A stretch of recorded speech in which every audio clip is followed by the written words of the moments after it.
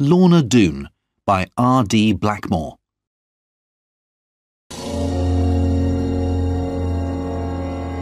Chapter 1 The End of School Days I am John Ridd, a farmer of the village of Oare in Somerset, and I have a story to tell you. It is about some things that happened to me in my younger days. On the 29th of November 1673, when I was 12 years old, John Fry, a worker from our family's farm, came to collect me from my school at Tiverton. He rode his horse up to the gate, leading my own little horse behind him. He was two weeks early, so I knew something was wrong. What are you doing here, John? I asked him. It's not the holidays yet. He would not look at me. Oh, I know that, young Master Ridd, but your mother has saved the best apples and cooked some wonderful cakes, all for you. And father? How is father? I said. It was usually father who came to collect me, and it was strange that John Fry hadn't said anything about him. Oh, he's very busy on the farm just now, he said. But John wasn't his usual self, and I knew this was a lie. When I had packed my bags and said goodbye to my friends, I got on my horse and we started the journey home. It was a long journey from Tiverton to Oare, and in places the road was very bad. John Fry still would not tell me why he had come to collect me or answer my questions about father. He looked unhappy about something, but I tried to hope for the best, as boys always do. On the hill at the end of Dulverton town, we saw a big coach with six horses.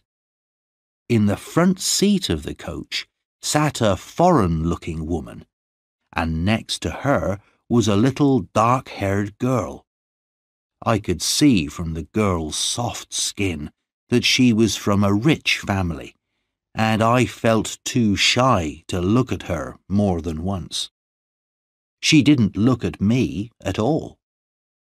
Opposite them sat a very beautiful lady in fashionable clothes, and next to her was a little boy who was about two or three years old. The woman in the front, I thought, must be the servant of the family. I always remembered the family afterwards, because I had never seen people who were so grand and so rich. After Dulverton, the road got worse and worse, and soon we came into a very dangerous part of the country. This was Exmoor, a place of high, wild hills and deep valleys, and on Exmoor lived a family of robbers called the Doones. Everyone was afraid of them. They had robbed and murdered on Exmoor for many years and had grown very strong. Now it was getting dark, and a fog was coming down. It was just the kind of night when the Doones would be out, and we were coming near to the path that they always used. I wanted to ride fast and cross the Doone path as quickly as possible, but John Fry knew better. Go slowly and quietly, he said, if you want to see your home again but when we came to the valley where the Doone path was, we heard the sound of horses. Hide, said John, and we rode our horses off the path and hid. But I wanted to look at the Doones, and went up onto a hill above the path. From there I saw a frightening sight. Below me, moving quietly, were thirty horsemen.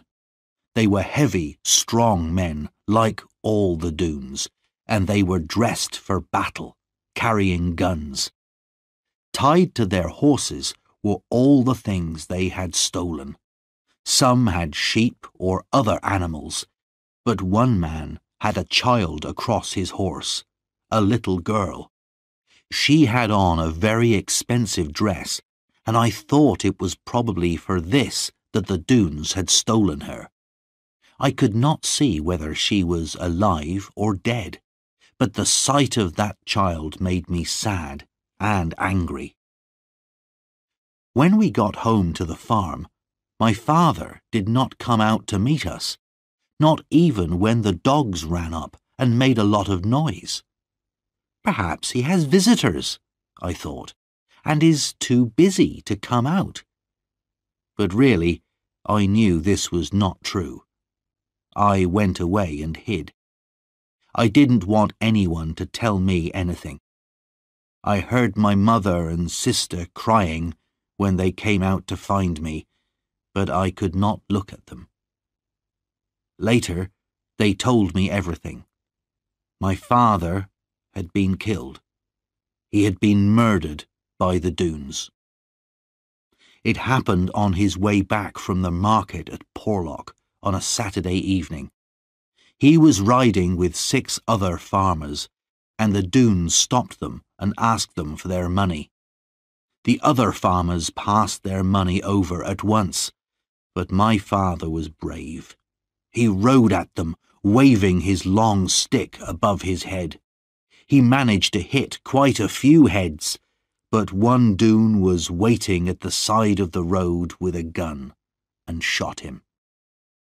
Although we knew it was the Doones who had killed my father, it was useless even to ask the local judges or law officers to do anything about it. They were afraid of the robbers too, or were even helping them.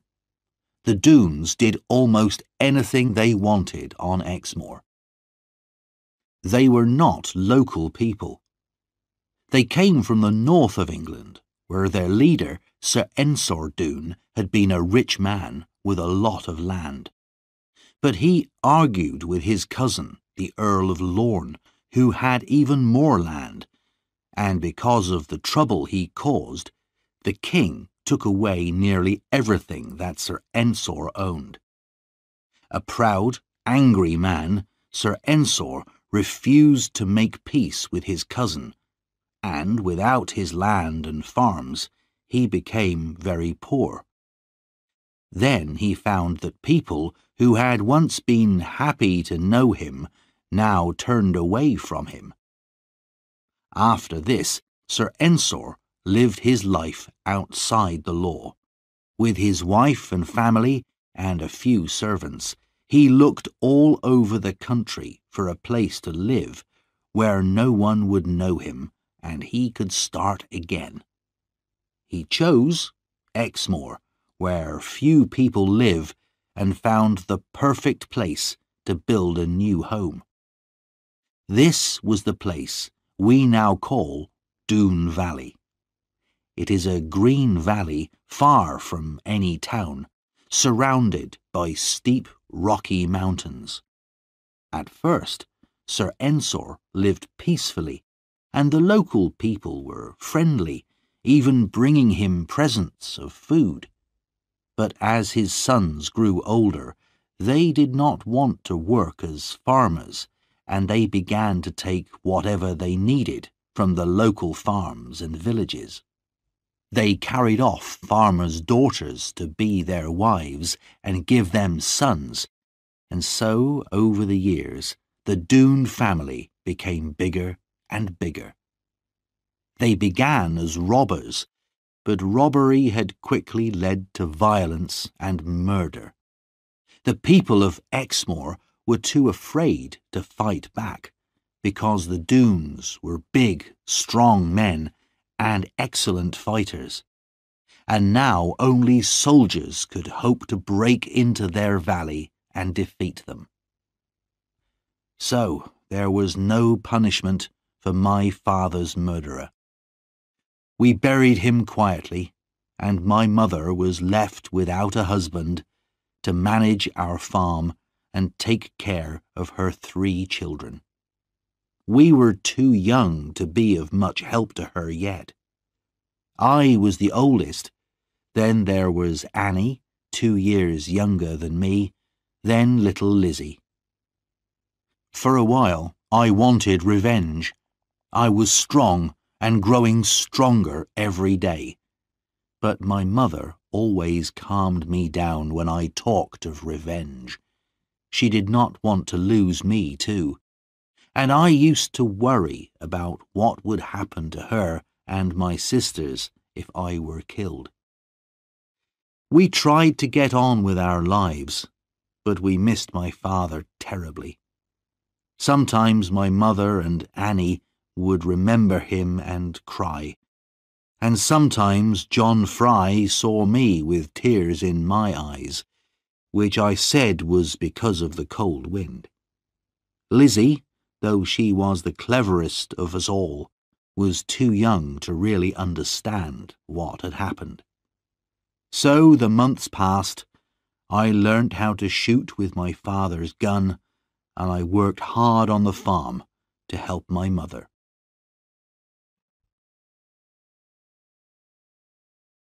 Chapter 2 A Boy and a Girl St. Valentine's Day, 1675, was the day that changed my life forever, though I did not know it then.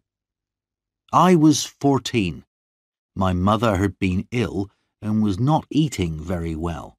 So I went out to find something that she liked. Good, fresh fish caught from clear water. I went first along the Lynn River that runs through our valley. Then I turned into Bagworthy water. Though I knew that this river led to Doone Valley, I did not think about it. I went on catching fish and moving up the river, then suddenly found myself standing at the bottom of the cliffs outside Doone Valley. In front of me was a waterfall, a steep hill of smooth, fast-moving water. It was a wild, lonely place, surrounded by tall trees, and it was already getting late. I knew I should turn for home, but I also wanted very much to see what was at the top of that waterfall. It looked a dangerous climb, but if I did not climb it, I would always remember that I was too frightened to do it. So I climbed. The water beat against my legs, once knocking me down so that I nearly drowned but I pulled myself up and went on. When I reached the top at last, my arms and legs were aching, and my feet were cut by the rocks. I fell in the grass, exhausted. When I opened my eyes, for a few seconds I didn't know where I was. But kneeling beside me, touching my face with a leaf, was a very young girl. Oh, I'm so glad, she whispered softly as I sat up and looked at her. Now you'll try to be better, won't you? I had never heard as sweet a sound as this girl's voice, nor seen anything as beautiful as the large dark eyes that watched me, full of care and wonder. I stared at her without speaking, noticing her long, shining black hair. What is your name? she said. And how did you get here? And what have you got in your bag? They're fish for my mother, I said. Very special fish. But I'll give you some, if you like. Dear me, you're so proud of them when they're only fish. But look at your feet. They're bleeding. Let me tie something round them for you. Oh, I'm not worried about them, I said bravely. My name's John Ridd. What's your name? Lorna Doone, she answered in a soft voice and looked down at the grass. She seemed afraid of her own name. Lorna Doone. Didn't you know? I stood up and touched her hand, and tried to make her look at me, but she turned away. I felt sorry for her, and even more sorry when she started to cry. Don't cry, I said.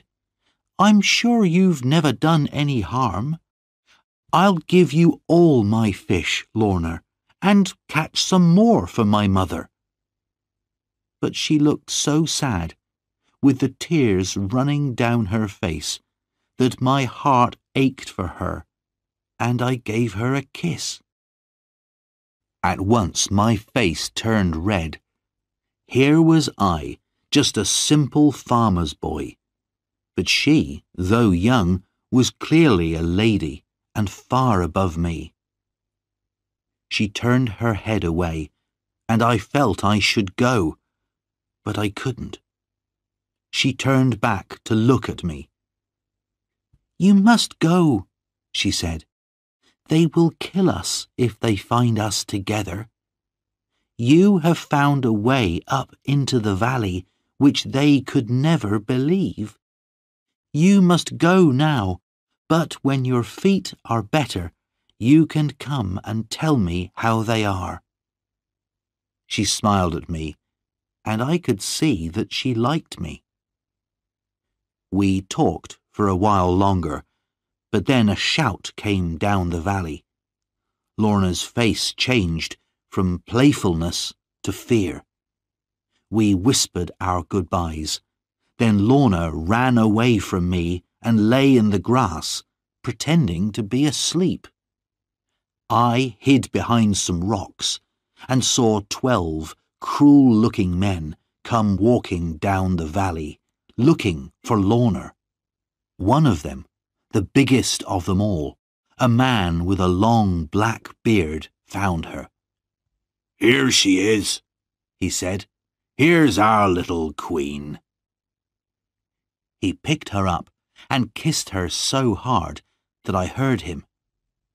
Then he put her on his shoulders and carried her away. But as she went up the valley on the back of this frightening man, Lorna turned and secretly held up her hand to me. Now I had to find a way out of the valley and get home. I almost broke my neck several times climbing down the mountain, and I did not get home until long after dark. My mother was angry with me, but I would not say where I had been. After my adventure, I thought a lot about the strange little girl I had met in Doone Valley, but I never really imagined I would go back to the valley again.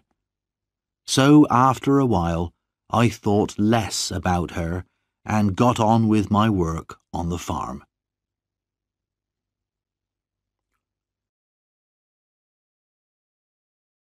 Chapter 3 Back to Doone Valley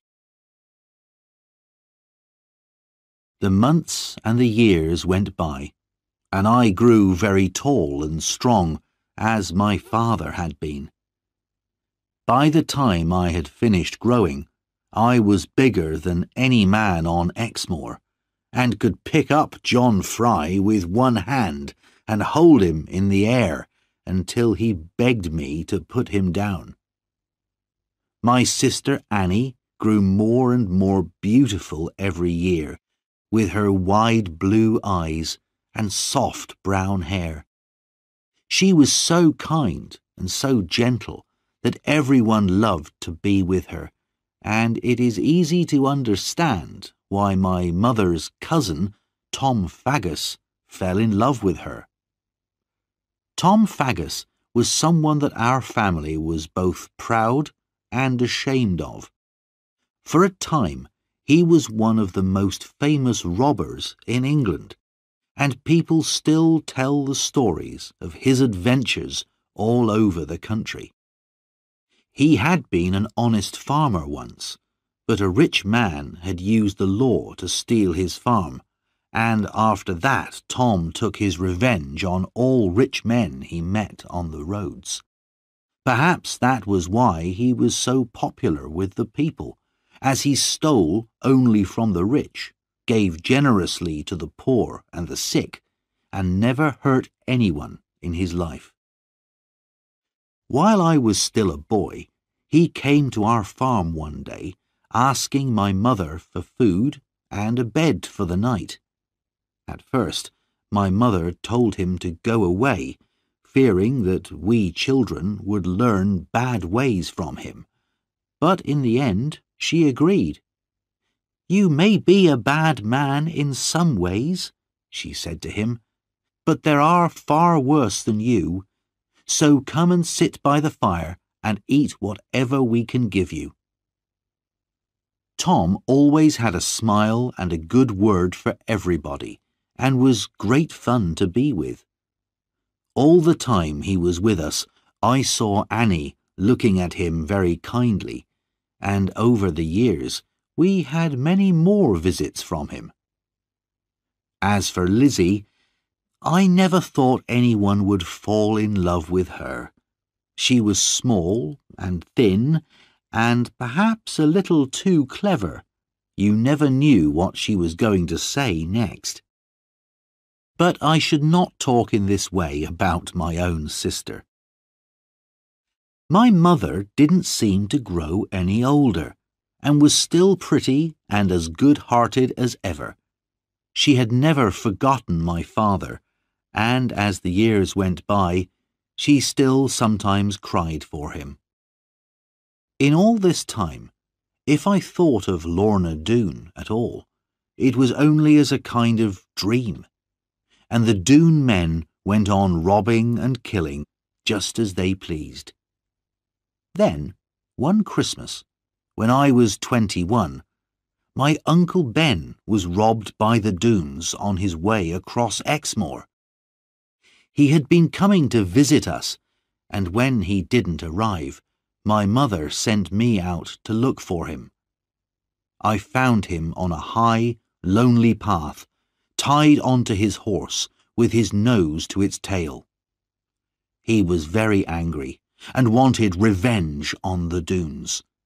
He asked me to show him where they lived so that he could learn the best way to attack them when the time was right. So, a day or two later, I took him up into the mountains that looked down on the valley.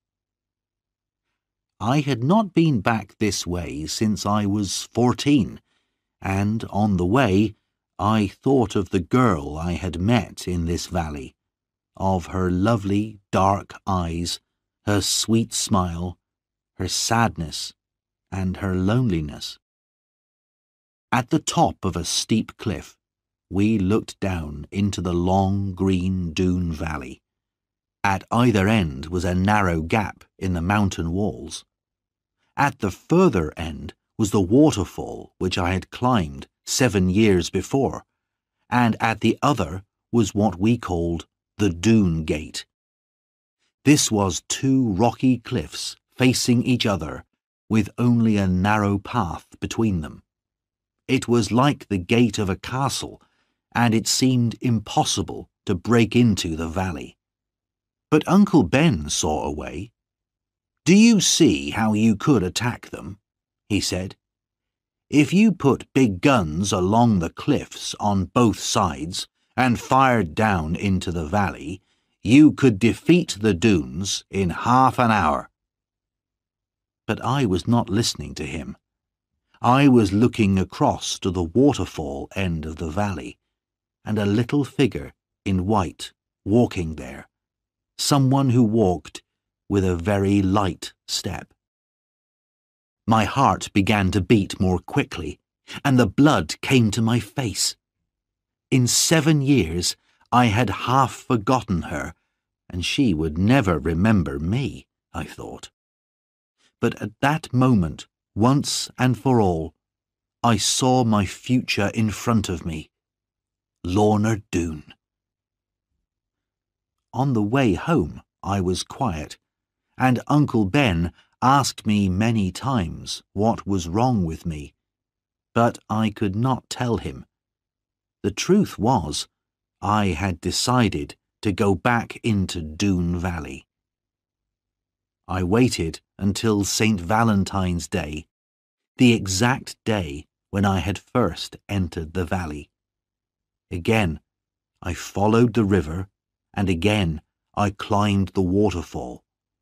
Although I was seven years older, the climb was not easy. When I got to the top, I looked around me carefully. In the early spring sunshine, the valley was beautiful. As I looked at the stream and the fields of grass on either side of it, I forgot about any dangers. And then I heard someone singing in a beautiful voice. At first, I hid behind a rock, but when I looked out, I saw the lovely sight of Lorna Doone coming towards me along by the side of the stream. Her beauty frightened me. How could I, only a farmer, talk to her? But something seemed to pull at me, and I came out from behind the rock. At first, she turned to run away, not knowing who I was. But then I said, Lorna Doone, and she seemed to remember me. A smile broke out on her face. I'm John Ridd, I said, the boy who gave you those beautiful fish seven years ago today. Oh, yes, the boy who was so frightened that he hid behind those rocks. I remember. And do you remember how kind you were, and how you wanted to help me? And then you went away, riding on a big man's shoulders and pretending you had never seen me, but you looked back and waved at me? Oh, yes, I remember everything, because it isn't often I see anybody, except, I mean, well, I just remember, that's all. But don't you remember, sir, how dangerous this place is? But I couldn't answer her. She had kept her eyes on me all the time, large eyes of a softness and brightness and beauty that took my breath away. I felt love taking hold of me, a love too deep and too strong for words. How could I explain feelings that I did not really understand myself? She turned her eyes away from me I don't think you can possibly know, John Ridd, the dangers of this place, or what its people are like. I could see that she herself was very frightened. She was trembling, from fear that someone might see me while I was there and hurt me. To tell the truth, I also grew afraid, and thought I had better go and say no more until the next time I came. I touched her white hand softly. Don't be afraid, I said. I'll go now, but I'll come again soon and bring you some fresh eggs from our farm. She reminded me again of the danger. But, she went on, it seems that you still remember your secret way in and she smiled at me kindly.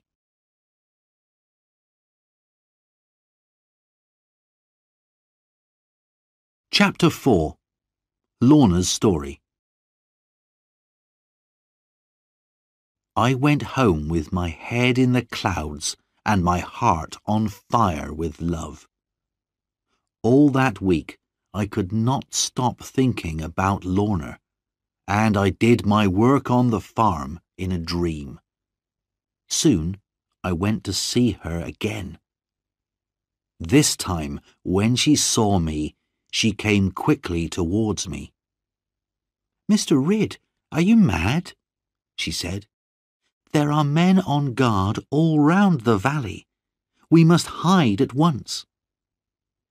She took my hand and led me to her secret place, which was a kind of room hidden in the rock of the mountain.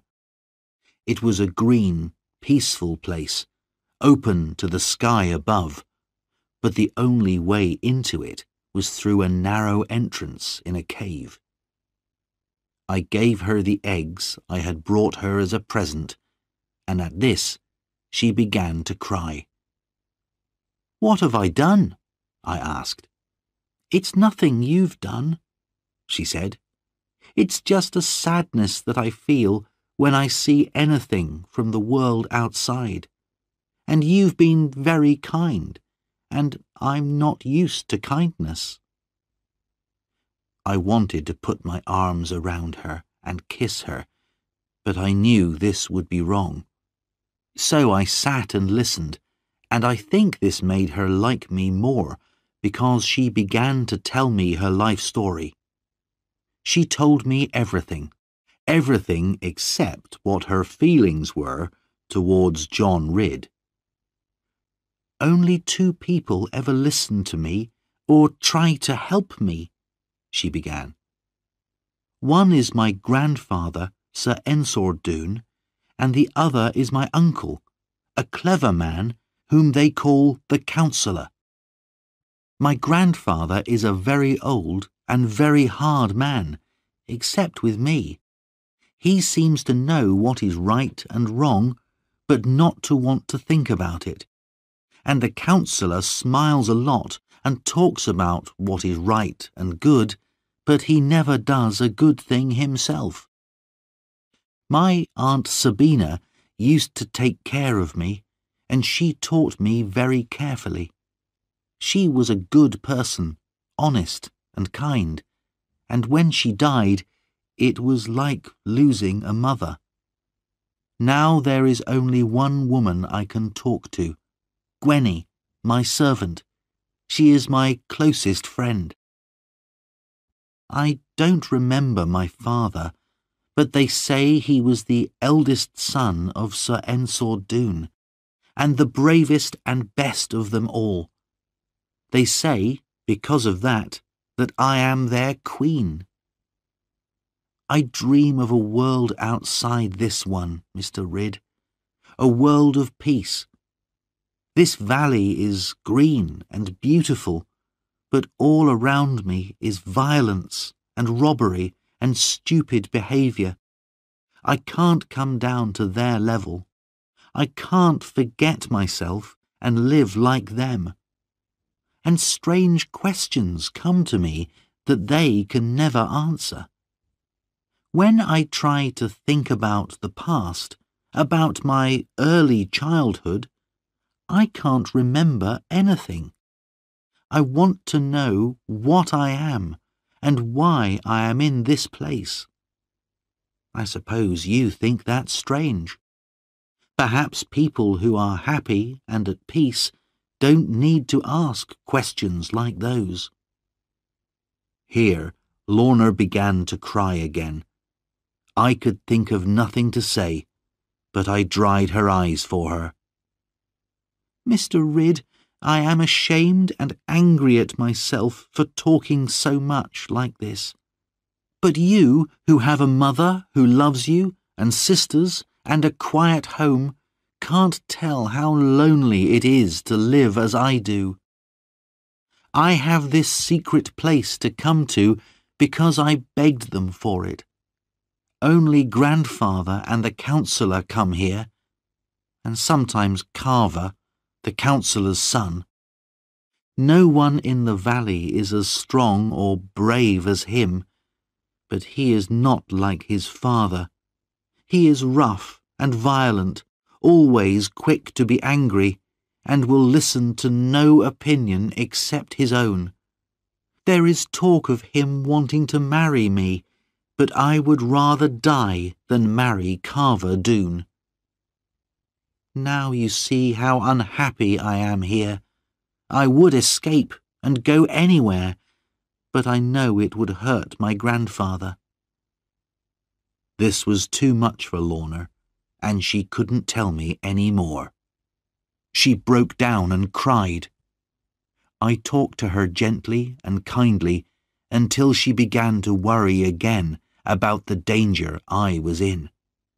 I said I would come back and see her again, but she made me promise not to come back for another month, so that I would not add to her problems with fears about me. During that time, we agreed that if she were in any danger, she would put a dark coat over a white rock near her secret room. I would be able to see this from a hill above the valley, and then I would come.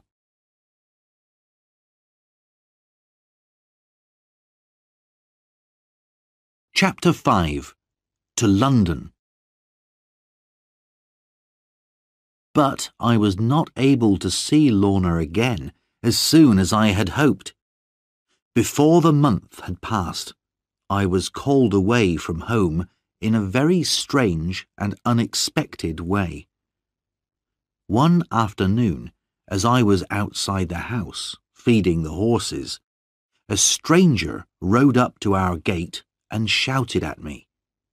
He was a tough-looking, hard-faced man about forty years old, with small, quick eyes, and he was dressed very differently from the way we dress in Exmoor.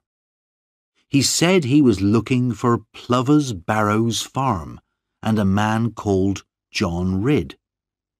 When I told him he had found them both, he introduced himself as Jeremy Stickles, a servant of the king, and he gave me a letter.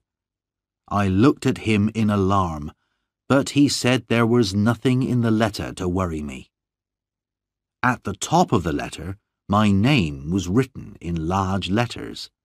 I read, To John Ridd.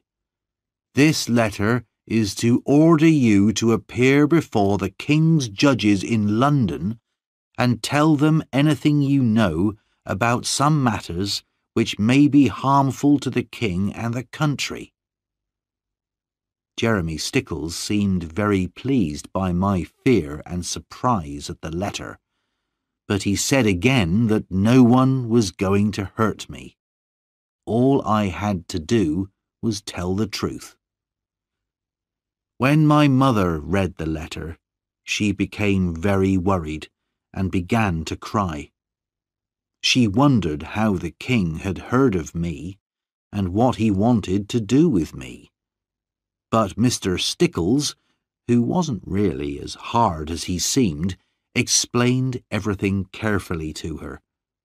He told her that the king only knew of me because the stories of my great size and strength had reached even London. He had heard I was a good man and thought I could help him, that was all. This made my mother feel better but I was very unhappy. I was thinking of Lorna. How could I tell her I was going away? I had promised not to go back to the valley for a month, and that was still a few days away. But how terrible it would be if she came to look for me at the end of the month and I was not there. I would have to break my promise and go before the agreed time. Mr. Stickles was happy to stay at the farm for one or two days to try our good Exmoor food, so I used the time to look for Lorna. But I saw nothing of her in the valley, and no signal that she needed me. There was nothing else I could do. Mr. Stickles wanted to go, and I had to leave for London without seeing her. A journey to London was both long and dangerous in those days because of all the robbers on the roads. As I said goodbye to my mother and sisters and took my last look at the farmhouse, I felt very miserable. But Jeremy Stickles was a good companion.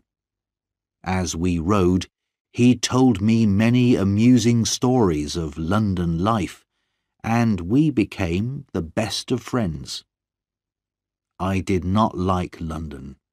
It was a crowded, dirty place, not at all like Exmoor, and, even worse, I had to wait more than two months before the king's judges were ready to see me.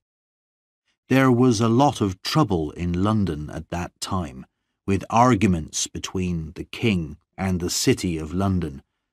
Nobody had time to talk to John Ridd, but I was not allowed to leave and go home. At last, I was called to see Judge Jeffreys. Jeremy Stickles had told me about Judge Jeffreys. He was the king's chief judge, and there were terrible stories about him. He became very angry if anyone argued with him, and he had sent many of the king's enemies to their deaths. In the room I walked into, there were three men sitting on high seats, and they were dressed in very rich clothes. In front of each of them was a desk with pen and paper. The man in the middle seemed to be the most important. He was a big, heavy man with a square chin and a kind of fire in his eyes. He was a man that almost anyone would be afraid of. This was certainly Judge Jeffreys. He gave me a terrible stare and asked me who I was and where I came from. When I had told him, he said, Well done, John Ridd. You have answered me without fear. I remember this matter now. I will ask you some questions. He looked at me more closely. In Exmoor, he said, there is a family of robbers. Is that true? I told him it was. And why isn't your local judge doing anything about them? I suppose he's afraid, my lord. The robbers are very strong, and their valley is hard to attack.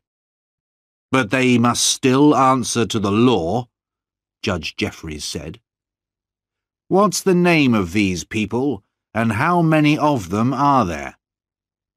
They are the Doones, and we think there are about forty men in the valley. I will do something about these thieves, he said. Perhaps I will come down to the west myself. But then he stared hard at me again and asked, Is there any sign in Exmoor of any dislike of the king? No, my lord. We don't know much about him. That's a good answer, he laughed. But the king knows he has enemies in the country. I see you know nothing about them, though. You're a good man, John Ridd. Keep out of trouble. Keep away from the king's enemies, and from the Doones as well, and you will be safe. I was going to use you as a spy, but I see you're too honest. I will send someone else, but never tell anyone what I've said to you. Here he stared at me very angrily but when he saw he had frightened me enough, he smiled again. Now go home, John. I will remember you, and I don't think you will forget me. I had no money left to hire a horse for the journey back to Exmoor, so I had to walk the whole way. It took me seven days, and I was very glad to get home again.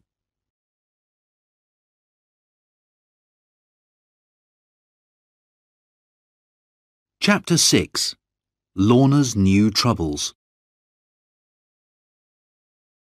When I arrived at the farm, Mother held me tightly and cried for half an hour. I gave everyone all the presents I had bought for them in London, but of course, what I wanted to do most of all was find Lorna and see how she was. I wanted to tell Mother all about her but the thought of my father's murder by the Doones stopped me. There was little chance that Lorna would love me, so why should I worry my mother about it? As soon as I could, I went to Doone Valley. But there, I could not believe my bad luck. When I looked from the cliff top, I saw Lorna's sign, her coat on a white rock. She had needed me, and now perhaps I was too late to help her. I climbed round the outer cliffs to the waterfall, and was soon looking down towards the green fields of the valley. I stood and waited, not caring now if anyone saw me. And then, at last, a little figure came towards me. I could see she was frightened, so I went towards her slowly. Miss Lorna, I saw your sign on the white rock that you needed me. Oh, yes, but that was a long time ago. Two months or more, sir. And she looked away. She looked so sad that I thought everything was over between us and tried to turn away and go. But when she saw that I was hurt and ashamed, she ran towards me and took my hands. Oh, John, I'm sorry. I didn't mean to hurt you, she said. How happy I was to hear her call me John. Then she led me away to her secret room, through the cave in the mountain. Since it was partly open to the sky, plants and flowers were able to grow there, and now, in the late summer, it was beautiful. She could not look at me at first, but when she did, I could see that she had been crying. My grandfather is not well, she said, and now Carver Doone and his evil father, the Counsellor, have more control over the Doones. They want me to marry Carver. Not immediately, I am only seventeen, but they want me to give my promise in front of my grandfather that I will marry Carver. They say it's for the peace of the Doones. That's why I left the signal out for you, Mr. Ridd. They wanted to force me, but my grandfather would not let them. They won't do it, at least while grandfather is alive.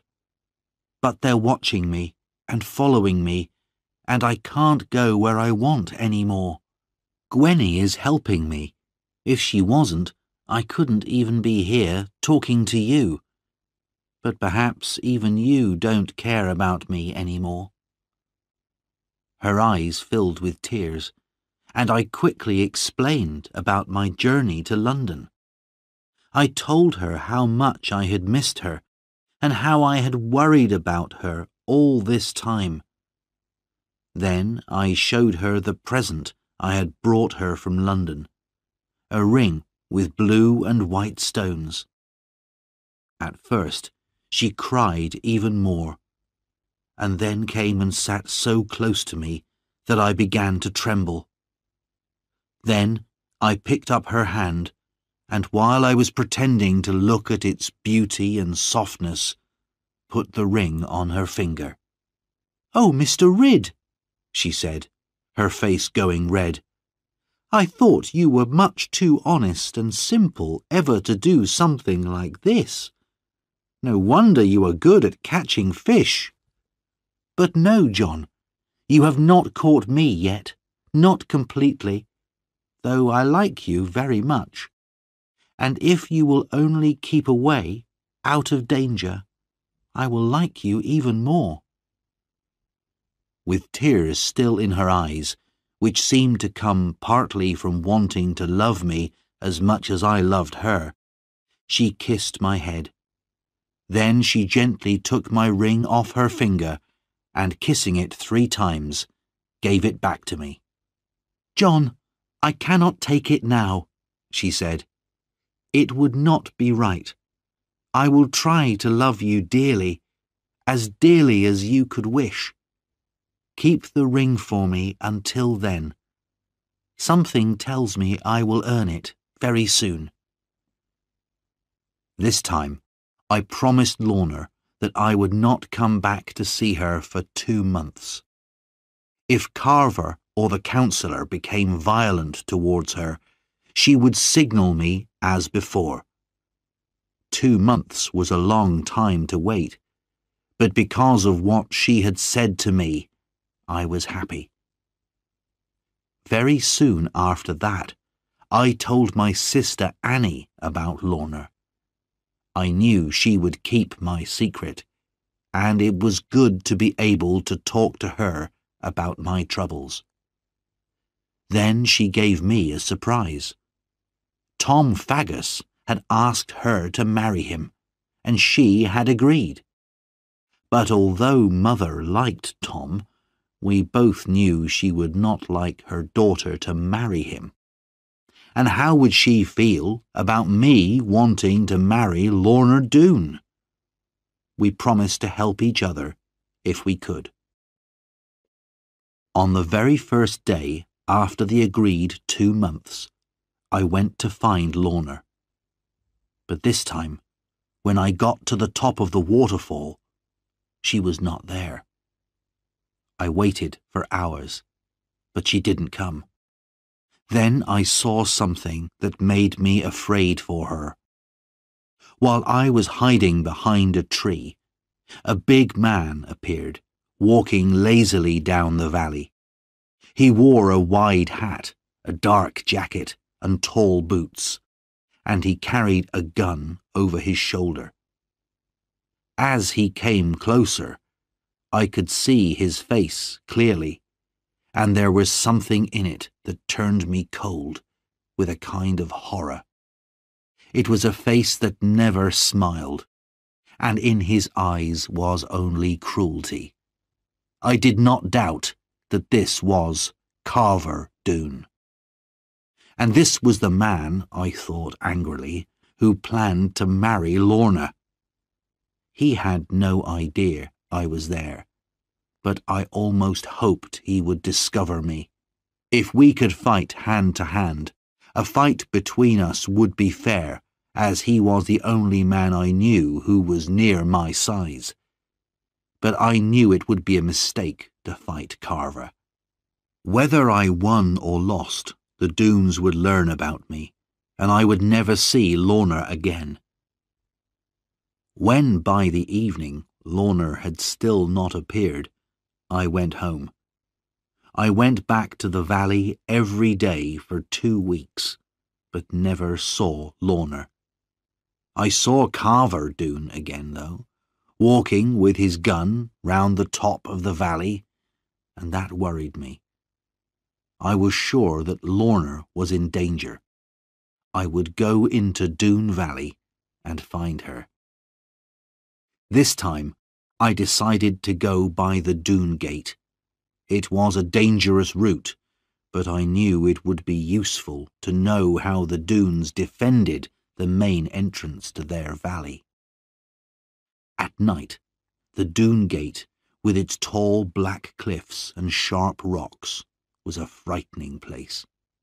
There were no guards outside, and very quietly and carefully I entered the narrow, dark path between the cliffs. Soon I saw a light shining round a corner of the cliff, and staying close to the rock wall, I stepped carefully up to the corner and looked round it. Two guards were sitting by the light, with their guns on the ground beside them. Here the cliffs widened out into broken, rocky ground with deep shadows between the rocks. The guards were clearly not expecting an attack and were drinking and talking. I stood and watched, and while I was wondering what to do, they began to argue and then to fight. This gave me my chance. I went slowly along the cliff wall, and then moved quickly into the shadows of the open rocky ground. The guards were so busy with their fight that they did not see or hear me, and I was soon past them and going down the hillside into Doone Valley. Lorna had told me that her grandfather's house was the first one after the gate.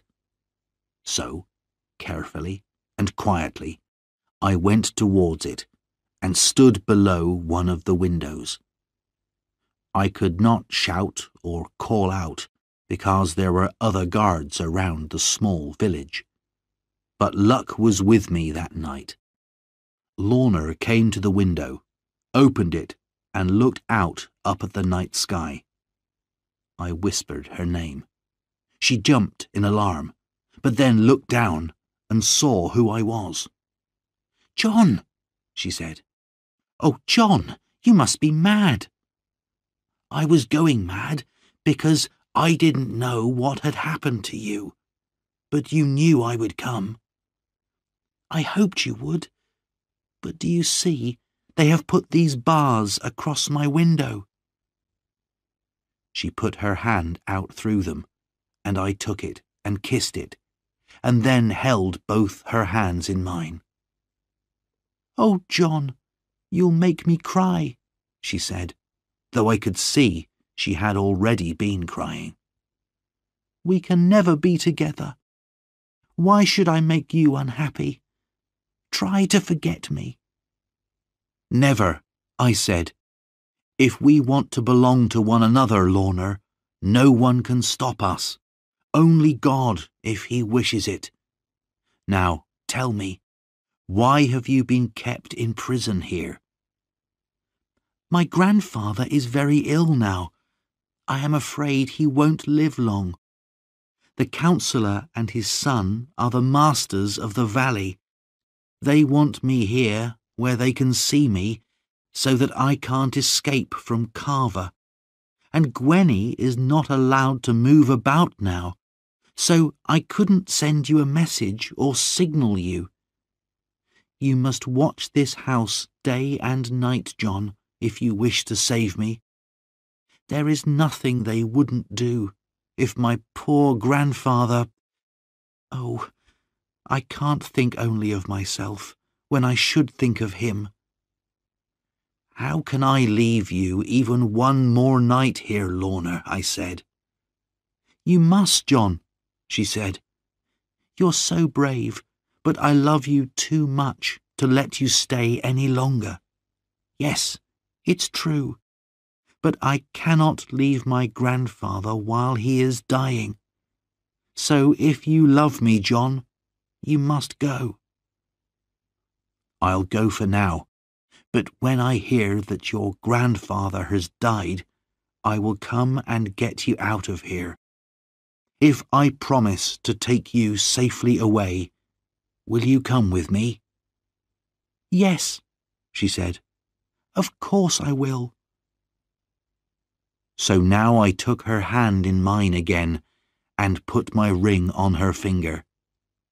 I had kept it in my pocket since the day I had first brought it to her. This time she kept it, though she cried and held my hand tightly. Oh, John, this can never, never be, she said.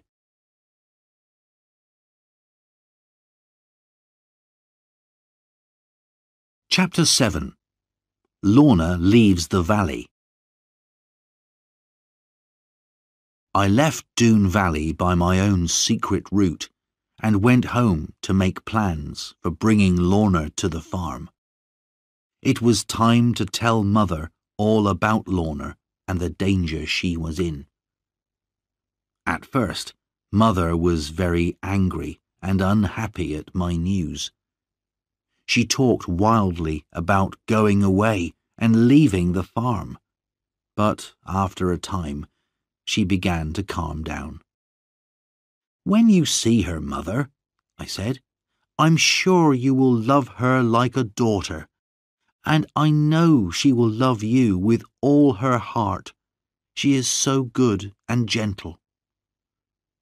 Mother was too kind-hearted to be angry for long. She cried a little more, then smiled and said, Well, God knows what is good for us. You must bring her here, John, and I will teach her how to be a farmer's wife. Lorna and I had agreed a new signal.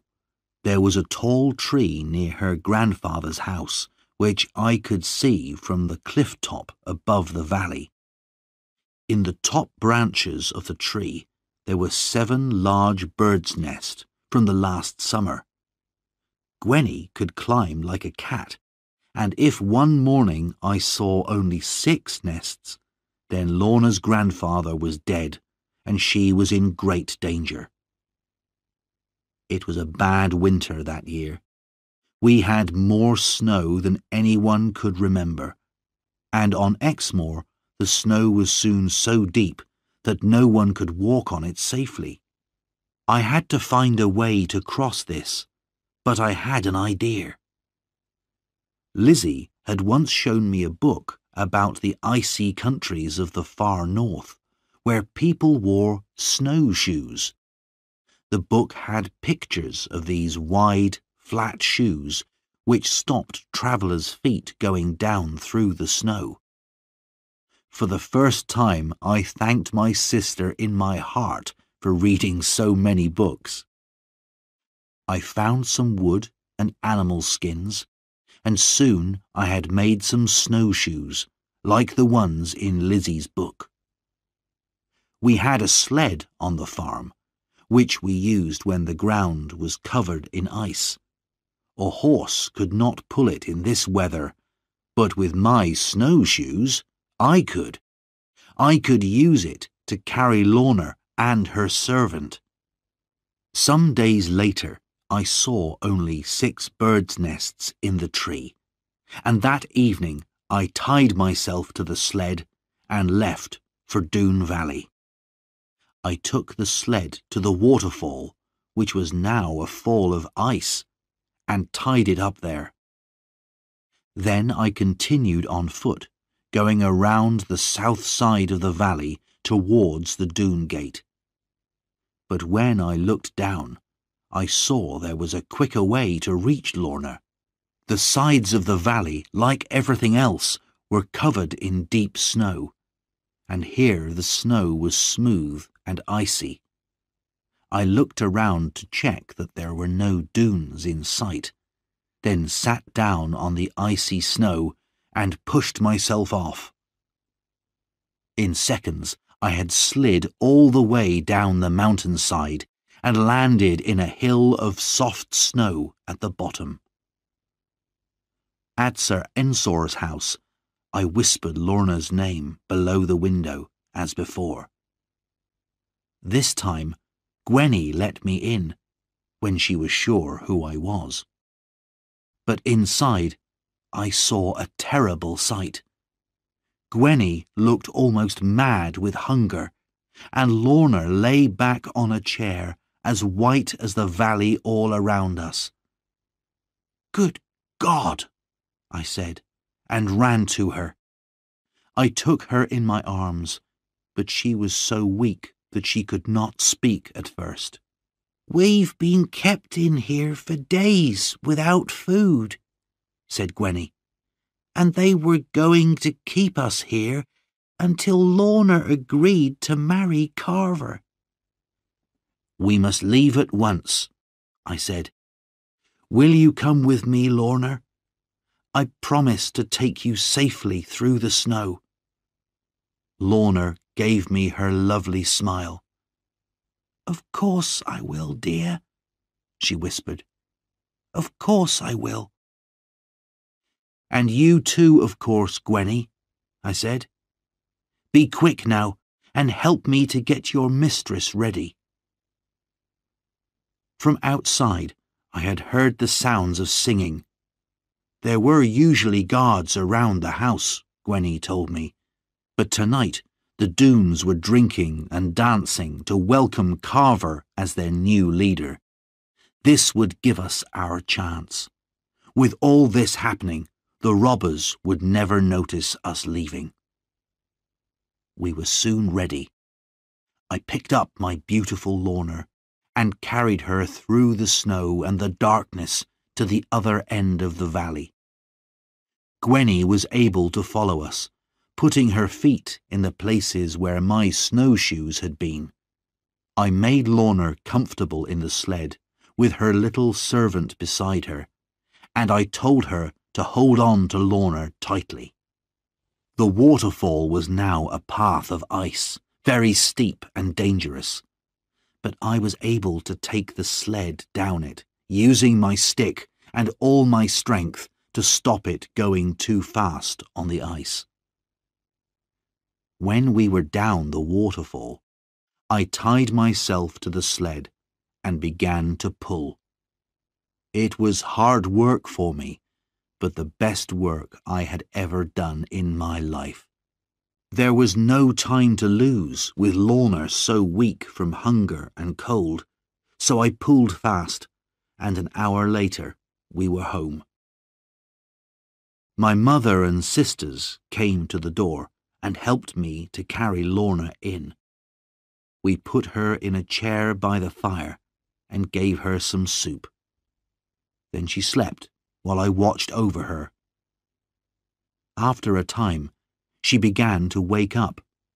She put her trembling hands into mine and looked at me with so much love in her eyes that I could not find the words to speak to her. We sat like this for several minutes, and then we heard a little sound behind us. It was Mother, crying with happiness to see us so loving. At this, Lorna got up and went to her. She knelt beside Mother's chair and looked up into her face. Mother put her hand on Lorna's hair. My sweet child, she said softly. A few days later, when Lorna and I were sitting together by the fire, she said to me, John, you gave me a beautiful ring, and now I want to give you something. It is only a very poor old thing, but it's all I have. My grandfather gave it to me before he died. I hope you will take it. Then she put on my finger the strangest ring I had ever seen. It was very old, and there was a picture on it. It was hard to see what the picture was, but it looked almost like a cat in a tree. I shall wear it, my love, I said, until the day I die.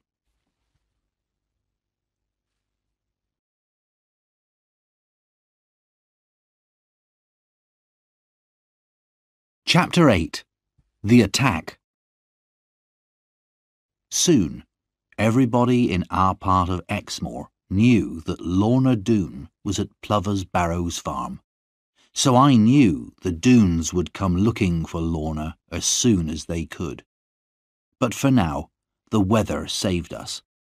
They could not move in the snow, and when the rains came in spring, they had even bigger problems. The rains were heavy, and when the snow also turned to water, the rivers became very high. In Doone Valley, the robbers' homes were almost under water. They needed most of their men to take care of their village. If they attacked us, we knew it could not be with as many men as they would like. Spring also brought a visitor for Annie. The snows had kept Tom Faggus away from the farm all winter, but now he came to see her, and he had something to tell her. Before the snows came, he said, I went to London, and I have something to show for it. Then, out of his pocket, he took a letter. It looked very important, and had the king's sign on it. What do you think it is? We all looked at it but it was full of long lawyer's words, and no one could understand what it meant.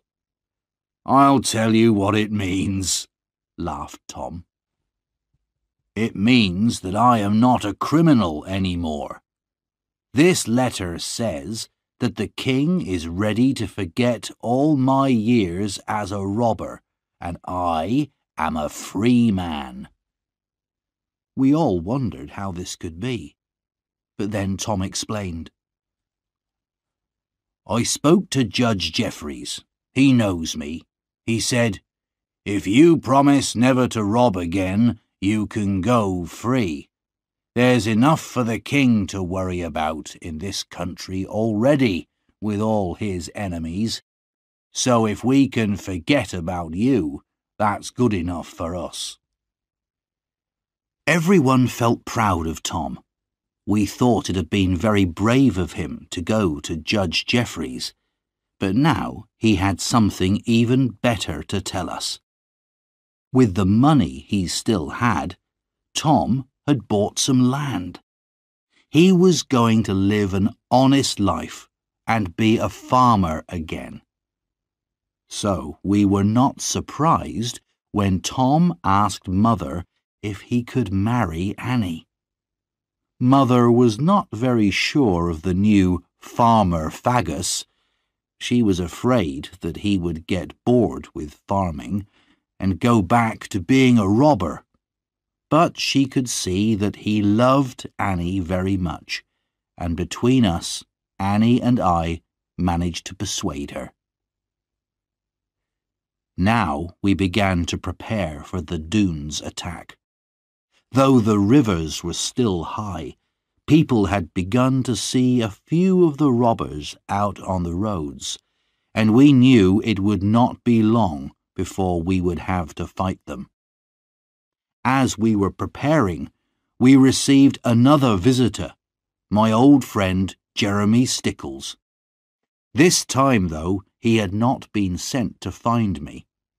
To our surprise, he told us that he had been spying in Exmoor for many months. He had been sent down this way again by Judge Jeffreys and the king. You must not tell anyone what I'm doing, he said, but I have been sent to do important work.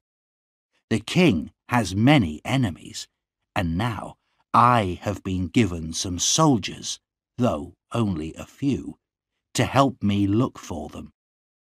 But I have to ask you, can my soldiers and I stay here for a while? I agreed immediately.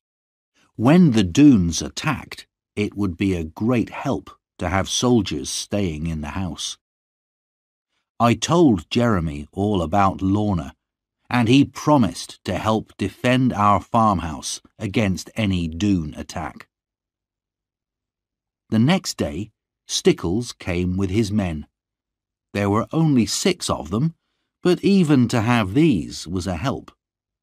All we could do now was wait and be ready each night for an attack. One day, I came home late from the fields and found all the women trembling with fear. Lorna had seen Carver Doone. She had gone out in the evening to look at some flowers by our stream. There were thick bushes on the other side, and when Lorna looked up, she saw two cruel black eyes staring at her. She was too frightened to move. Carver could not cross the stream because the water was too high. But he lifted his gun and fired at the ground by Lorna's feet. Unless you come back tomorrow, he said, and tell me how to destroy that farmer Ridd, who will soon be a dead man because of you, this will be the place of your death. Lorna told us this, trembling. We knew that Carver would not wait until tomorrow, and we got ready for an attack that night. When the Doones attacked a farm, they always started fires in the hayricks first, to frighten everyone and show what they could do. So, when darkness came, I went with my best gun and a heavy stick to one of the hayricks and waited beside it. I had made sure that Lorna stayed in the house, but little Gwenny climbed a tree near the river. From there, she could see up the river to the only place where it was possible to cross. Soon the moon came up, and before very long, Gwenny came running towards me. Ten of them, coming across the river, she said. They'll be here in a minute. Go into the house and tell Mr. Stickles and his men. I'll stay here and watch, I said. The robbers broke down our gate and rode towards the house. I could see the soldiers hiding in the shadows, waiting for the order to fire. But the Doones then turned towards the hayricks. Kill every man and every child, and burn the farm, came the deep voice of Carver Doone. Start over there. He was pointing to the hayrick where I was, though he could not see me. But remember, Lorna is mine, and I will kill any man who touches her. As Carver spoke, I pointed my gun at him. But, will you believe me? I didn't shoot. I had never killed a man, nor even badly hurt one. I did not think it was an easy thing to do. Now I can say that I wish I had killed him. But I put my gun down and picked up my stick, a more honest weapon than a gun, I thought. Two young Doones came towards me with burning sticks. The first put his stick to the hayrick I was standing near, and it started to burn. I hit him on the arm and heard his bone break as he fell over with a shout of pain. The other man ran to see what had happened, and I took his fire stick and broke it. Then he jumped at me, but I caught him, broke his arm, and threw him on top of his friend. I could still see Carver and wanted to jump at him, but I knew he would simply shoot me. While I was thinking about it, there came a loud noise and six tongues of flame from near the farmhouse. Stickles had ordered his men to fire at the Doones as they came towards the house. Two fell, and the others ran back. They had something to think about now. No one had ever fought the Doones as we were doing that night. Now my moment had come. I came out from my place near the burning rick. I knew Carver Doone by his size, even in the shadowy moonlight, and I took hold of him by the beard. Do you call yourself a man? I said. For a second, he was too surprised to do anything. No one had ever looked at him the way I did now. He lifted his gun, but I was too quick for him and knocked it out of his hand. Now, Carver Doone, take warning, I said. You think you are so much better than everyone else, but you are no more than an evil robber. Lie low in the dirt from which you came. Then I kicked his feet from under him and knocked him down. When they saw that he was down, the other Doones ran, but Carver simply got up and walked away, shouting at me and everyone. We wondered whether to chase the Doones, but Mr. Stickles said it would be too dangerous on the moor in the dark. One thing was certain the robbers had known defeat that night on our farm, something they had never experienced since the day they came to Exmoor. And they went home without four of their men. Two were dead shot by the soldiers, and the other two were the men whose arms I had broken by the hayricks. We buried the dead men in the fields, and Jeremy Stickles sent the two wounded men to the prison in Taunton.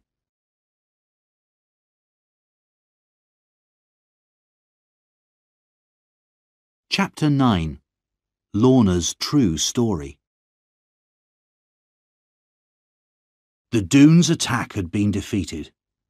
We knew that they would come again, as soon as they could, in larger numbers.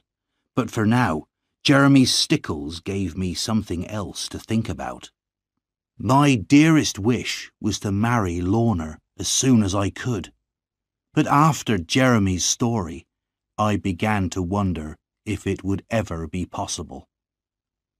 A few days after our battle with the Doones, Jeremy said he had something to say to me. John, I didn't think the time was right to tell you this before, but now you must hear what I have to say. As you know, I've been riding around Exmoor for many months, looking for information that might be useful to the king. I remembered all that you told me about Lorna and I think I have discovered something about her. It may not be easy for you to hear, John. Are you ready? I will do my best, I said. So he began his story. Six or seven months ago, before the snows began, I stopped at an inn on my way from Dulverton to Watchet. The inn was all by itself, right by the sea, and was very quiet. I was the only person staying there, and the woman who owned the inn sat down and talked to me during my meal. She was dark and foreign-looking and intelligent. I was very interested to know how an unusual woman like her had come to live in this lonely inn, and she told me her story. She said that she was from Italy, and her name was Benita. Many years ago, while she was working in Rome, she had met an English family. They were travelling in Italy because they'd had a terrible argument in England with another family. Benita did not know much about the argument, except that it had been about land. Benita liked this English family. They were very rich, but they were also kind. So when they asked her to travel with them and take care of their children, she agreed. She loved the children, a little girl and boy, so she was very happy in her work. At first, everything went well. Together, Benita and the family travelled up through northern Italy and into France. But on the French side of the Pyrenees, the husband of the family had a riding accident and was killed. His wife was deeply unhappy and would not move from the place where he had died for many months. But finally, she decided to go home to England and try to start life again. Benita stayed with her, and they took a ship to the Devon coast. They stayed at Exeter and then left in a coach for Watchet in the north of Somerset. The lady had a house there where she planned to live. They were warned at Dulverton about robbers on the roads, but the lady would not listen. She even travelled at night, which, as we know, is a very dangerous thing to do. So, of course, they were attacked by robbers. It happened near the sea. The coachmen drove onto the sand, and the robbers followed on their horses. The coach's wheels began to go down in the soft sand, and as the robbers came nearer, the lady pointed to one of them and said, I know that man. He is our family's old enemy. Then a great wave crashed against the coach and turned it over. Benita hit her head on the door and could not remember what happened. The next thing she knew was that she was lying on the sand and the robbers had gone. She looked around for her mistress and saw her sitting on a rock with her dead son in her arms. The little girl had disappeared. Benita and the two coachmen took the lady into the town, but later that night she died. This is a sad story, said Jeremy. Give me a drink, boy. I saw that there were tears in the brave man's eyes. What was the lady's name? I asked. And what happened to the little girl? And why did Benita stay there? I will answer the last question first, said Jeremy. That's the easiest. Benita stayed in that place because the Doones, if that's who they were, stole everything from the coach, and she had no money. She could not go back to Italy. She married a man who lived near the place because he was kind and could give her a home. But the little girl, Jeremy, what happened to her? John, can't you see it? You are more likely to know than anyone in the world. As certain as I sit here that little girl is Lorna Doone. The truth was, I had guessed this almost from the beginning of Jeremy's story. But it was almost too painful to believe, and I wanted Jeremy to say it.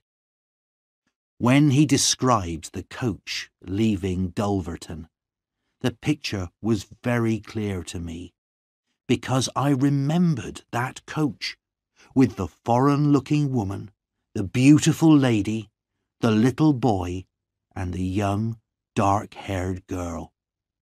I had seen them on the day John Fry came to collect me from school, on the day I learnt my father had died.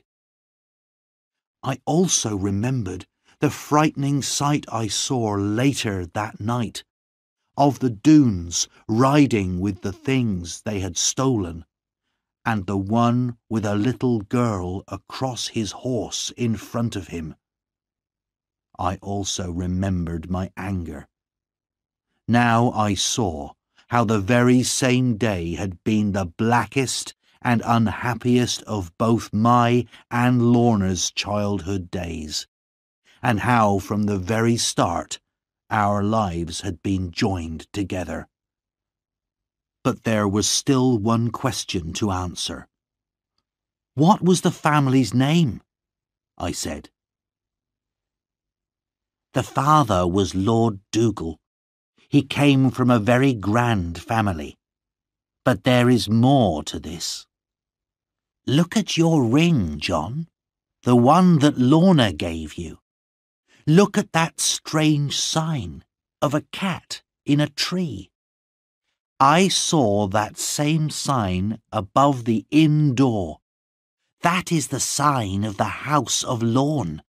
It is the family that Lorna's mother came from. John, your Lorna belongs to one of the richest and most famous families in England.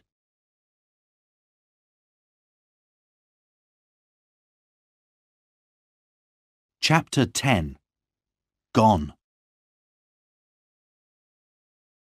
Now I had to tell Lorna.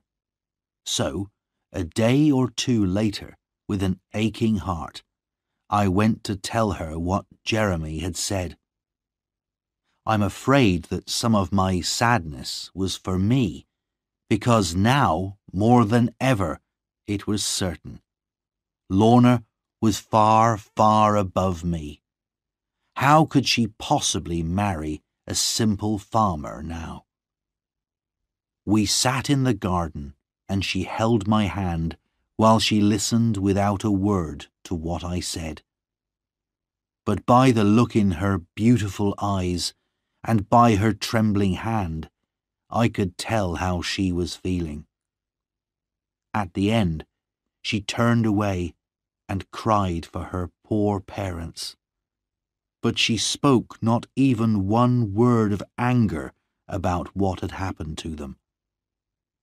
Then, to my surprise, she turned to me and caught me in her arms and kissed me as she had never done before. John, I have you, you and only you, and I want no one else. It does not matter how rich or important my family is. It was impossible to doubt those clear, deep eyes and bright, trembling lips. But I was afraid of what the future would bring. To me, she was Lorna Doone but to the world she was Lady Lorna Dugal, young, beautiful, and rich. And if the world learnt about her, it would want to take her away from me. Now, the date of Tom and Annie's wedding was decided, and I went to Dulverton to buy a present for them. As I was riding, I had time to think more about what Jeremy had told me. It was clear from his story that Lorna's mother's family, the Lornes, were the family with whom Sir Ensor Doone had argued about land before he came to Exmoor. This explained why Lorna's mother had called him her old enemy when she saw him that terrible night. And this must be why the Doones had carried Lorna away and kept her and never told her who she really was. If they could marry her to a Doone before she learnt the truth, perhaps they hoped in this way to get the Lorne family's land. They would be rich and important again, and at the same time have revenge on the Lornes. But it would have to be a lawful marriage, so Sir Ensor had taken good care of Lorna and kept her safe from the wild Doone men. And Carver, seeing how beautiful Lorna had become, had decided to marry her himself. In Dulverton, I stayed with Uncle Ben and his granddaughter Ruth. She was a beautiful and intelligent girl and had often been very kind to me. I did not spend too much money on a present in Dulverton. I was saving for my own wedding to Lorna. I had told her that if her family's great riches ever came to her, I would not touch any of her money. In fact, we had both agreed that we would give nearly everything to the poor and live simply. Three days later, dreaming hopefully of the future, I walked into the kitchen at home and saw immediately that something was wrong. Then Mother and Annie told me that Lorna had gone. Two men had come from London. They were lawyers and had been sent by the king's judges to take Lorna away. The judges had heard that she was still alive, and they and her uncle had ordered her to come to London.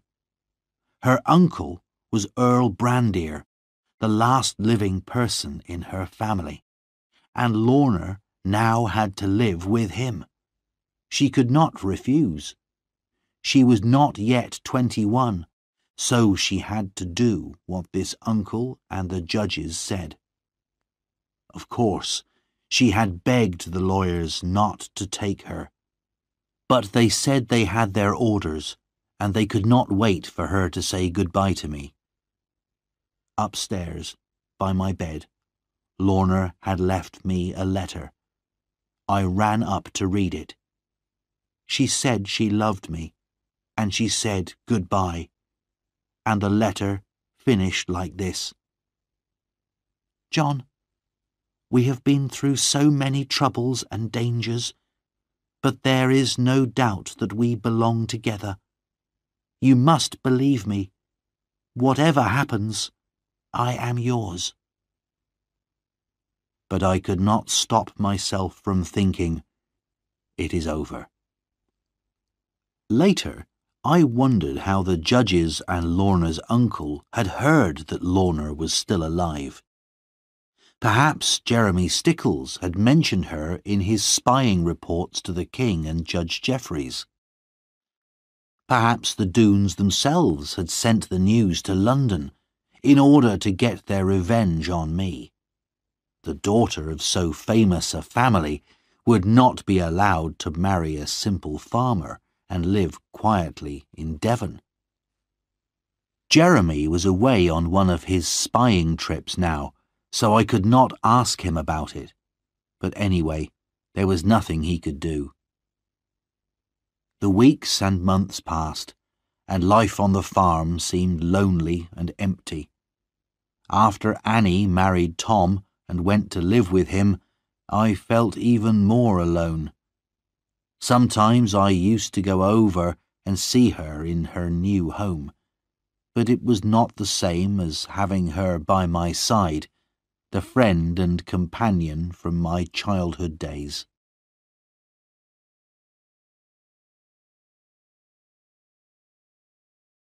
Chapter 11 Tom Faggus in Danger We still lived in fear of another attack from the Doones, and now that the soldiers had gone, we had no one to help us. The main reason for their first attack, Lorna, was gone, but I was sure that Carver now hated me with all his heart and would destroy us all if he could. However, Jeremy Stickles brought us some good news one day. The king had at last agreed that the robbers should be punished, and that Jeremy should do whatever was necessary to catch them. So perhaps the Doones were saving their strength, preparing for a much bigger fight than their argument with me. Then, something happened which made everyone afraid for the future. Suddenly, King Charles II died. There was terrible trouble in England, as everyone argued over who should be the new king, and soon fighting began. I wondered if all this would bring any danger for Lorna. But the truth was, I knew very little about her now. She had not written to me since the day she had left, or even sent a message. I only knew what I had heard from travellers in the town.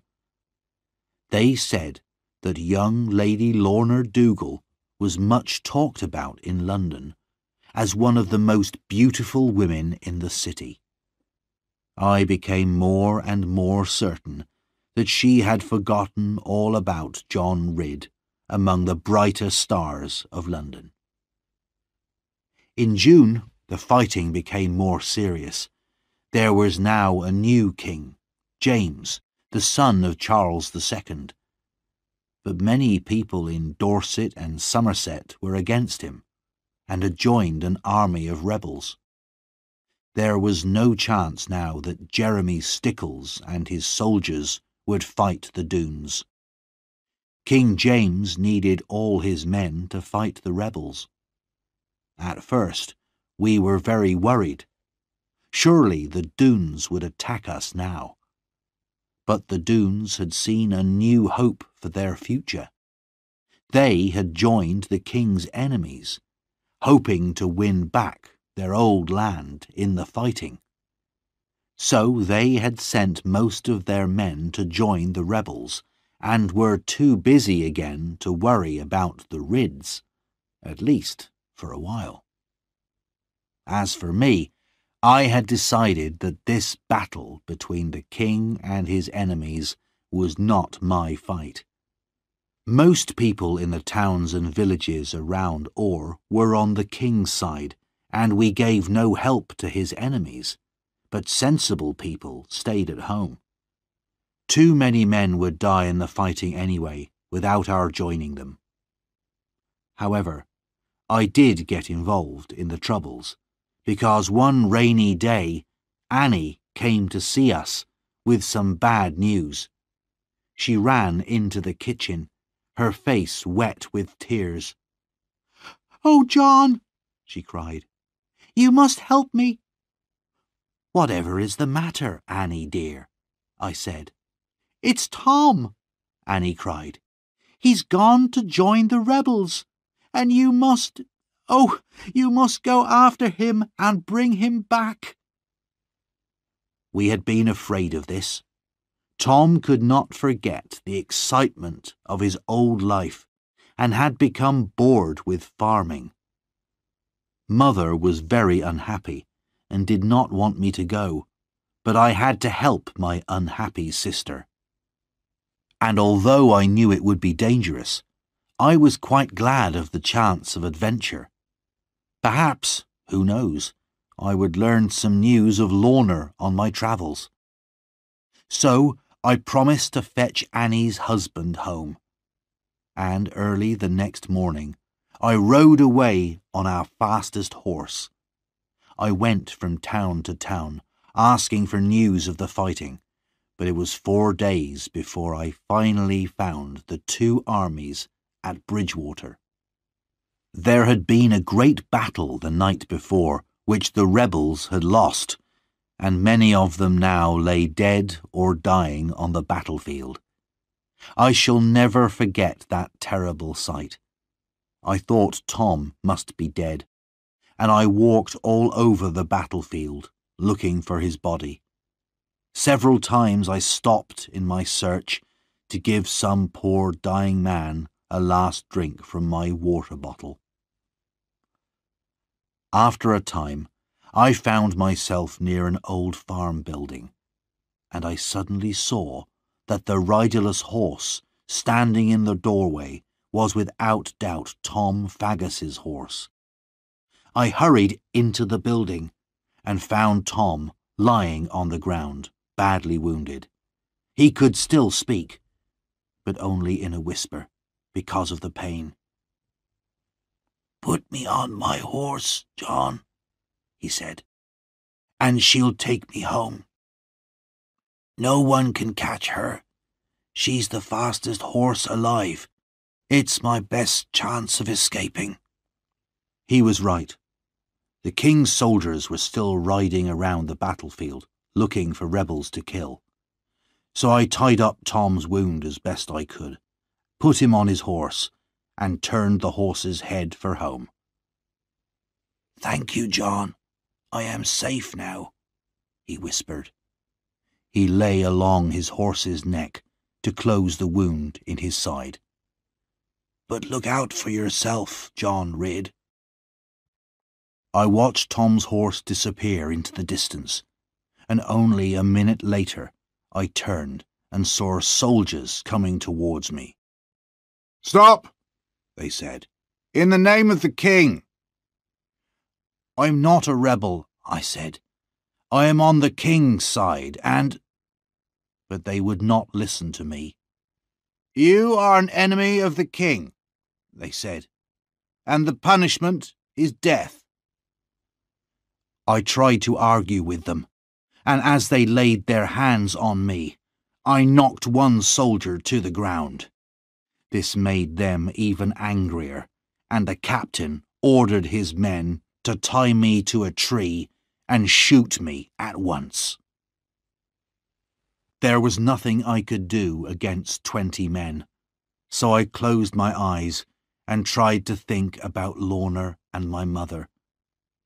The captain gave the order to fire, but at the same moment I heard a horse coming towards us and another voice shouting, Stop! It was Jeremy Stickles. He rode his horse between me and the guns and started to argue with the captain. His voice was the sweetest sound I had heard for a long time. The argument was soon over. I heard Jeremy mention Judge Jeffreys once or twice, and before long he had persuaded the captain not to shoot me. This man, John Ridd, is my prisoner, said Jeremy and I shall take him to London for trial there. As we rode away together, I thanked Jeremy with all my heart for saving my life. You're not safe yet, John, he said. I know you're not an enemy of the king, but many people will not believe you. If you want to stay a free man and keep your farm and land, there's only one thing you can do. You must come to London with me and tell your story to Judge Jeffreys.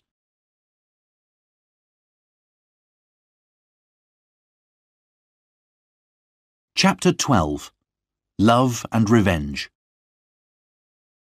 London, of course, was where Lorna was, but it was five weeks before I saw her.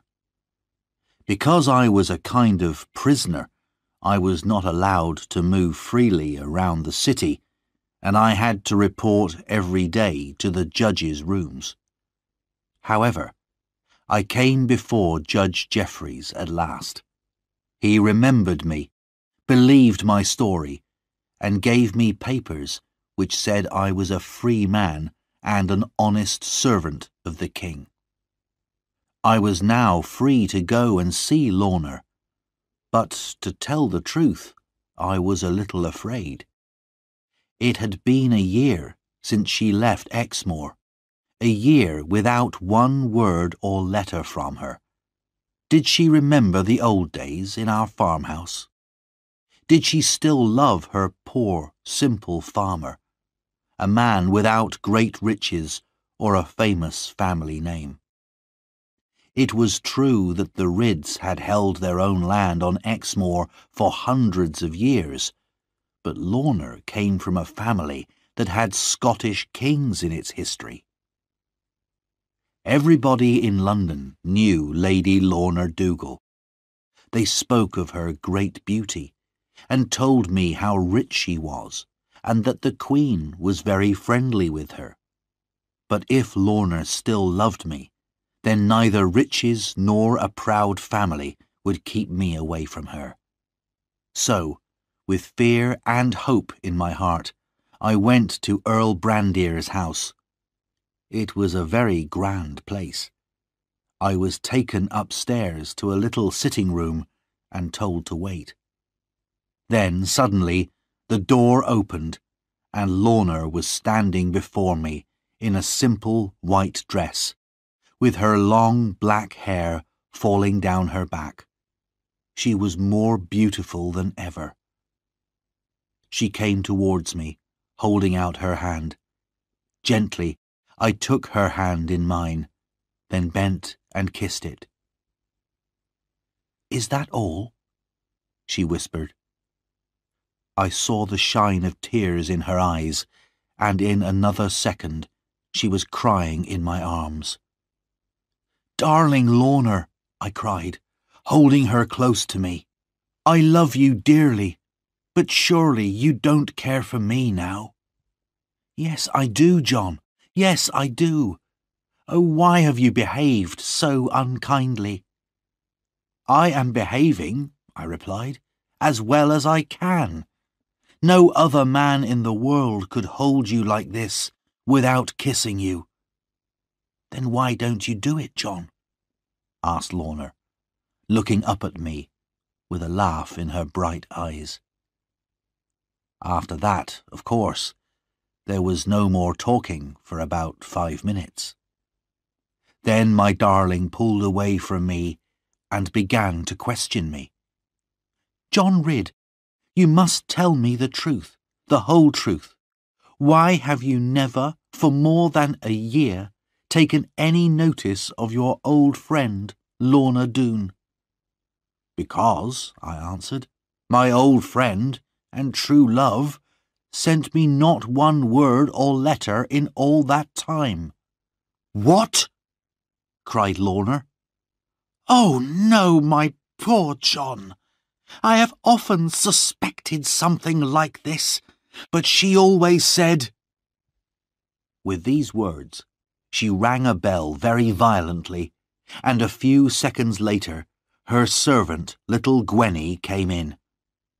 Gwenny, said Lorna, what have you done with all the letters I gave you to send to Mr. Ridd? No more lies now.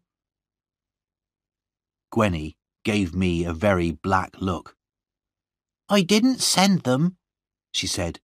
You're a grand lady now, mistress. You should marry some grand lord, not a poor farmer from Exmoor. I was only thinking of you. Gwenny, you may go, said Lorna, her voice full of quiet anger. I don't want to see you or speak to you for at least three days. At this, Gwenny ran out of the room, crying noisily, and Lorna turned to me. Oh, John, try not to be too angry with her. She loves me very much, and I'm afraid that if you take me, you'll still have to take Gwenny too. I'll take fifty Gwennies, I said, if you want me to. After this, we spoke of ourselves.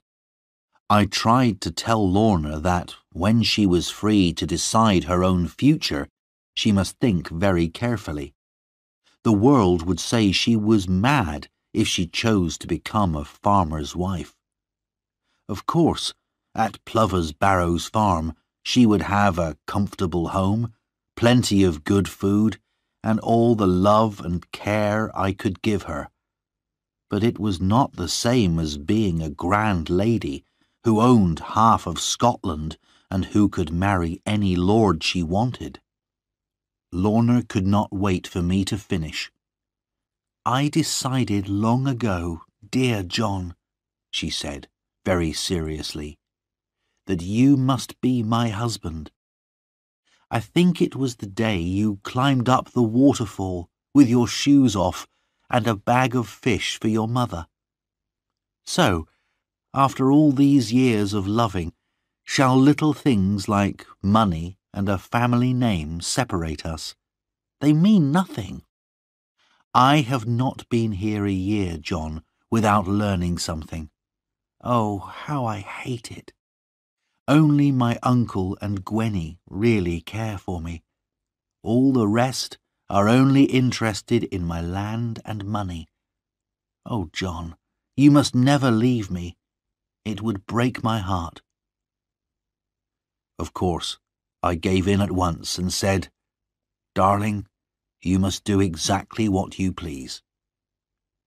For that, she gave me the sweetest of kisses, and as I left, I went grandly down the great stairs of Earl Brandir's house, thinking of nothing else except that. For the rest of my time in London, I went to see Lorna every day, forgetting all about my poor mother and the work that needed doing on the farm. Then one day I received a letter from Lizzie, and I realized that I must get home as quickly as possible.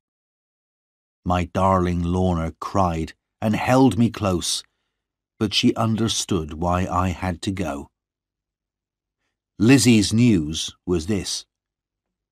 Jeremy Stickles and his soldiers had finally made their attack on Doone Valley, but it had failed, and Jeremy had been injured. This was the worst possible thing for Exmoor. Now the Doones would make more trouble than ever before, and of course they would attack our farm. When I got home, I learnt that the Doones were robbing everyone around them, and the whole of Exmoor was living in fear of them. Then, a few weeks later, something even more terrible happened. The Doones came one evening to the farmhouse of Kit Badcock, a neighbour of ours, while he was out working in his fields. They broke down the door and stole his young wife, Marjorie. Two of them carried her, screaming and fighting, to their horses, and then rode away. Meanwhile, the other Doones were searching the house for food and drink to steal and one of them found the Badcock's little son crying in the kitchen. He picked the baby up, threw him into the air, and let him fall onto the hard stone floor. The child's neck was broken, and he died at once. It made me sick just to think of the cruelty of this man, and when people heard this terrible story, they were very angry. They said it was time for the people of Exmoor to take their own revenge. Men from all the farms and villages of Exmoor came to see me. We cannot expect any more help from the king against the Doones, they told me. Because Jeremy Stickle's attack failed, the king has refused to send any more soldiers but we've had enough of the Doones. We want to attack them ourselves, and we want you to lead us, John.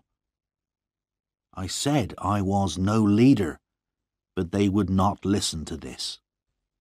Try to lead us, they said, and we will try to follow. In the end, I agreed to do as they asked. I thought we had a chance against the Doones, if enough of us decided to fight. There were fewer of them now.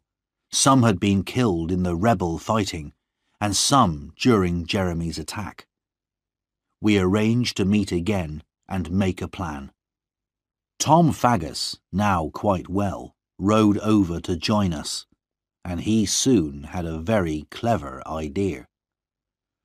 We're not soldiers, he said, and we'll never defeat the Doones if we try to fight all of them in their valley. So we must lay a trap. You know the caves on Exmoor where gold was once found? Well, we'll tell a story around Exmoor that men have been digging secretly and have found a new cave with rocks full of gold. We'll say that the gold will be taken away on a certain night at a certain time. The Doones will naturally plan to attack and steal this gold, but some of us will make a trap for them in the caves. Meanwhile, the rest of us will attack the valley as soon as we know that some of the robbers have left. The second part of our plan was this. Tom would take some of our men and pretend to attack the Doone Gate, while our main attack would really come from the waterfall end of the valley, the route I had discovered so long ago. The plan went well. The story about the gold was whispered in the right ears, and on the agreed night our spies watched a large group of robbers leave Doone Valley on their way to the caves. Meanwhile, as the moon rose above the hills, I was leading my twenty men to the bottom of the waterfall. John Fry, our old farm worker, was in the mountains which looked down into the valley. When he saw the fighting start at the Doone Gate, he would fire his gun as a signal to us.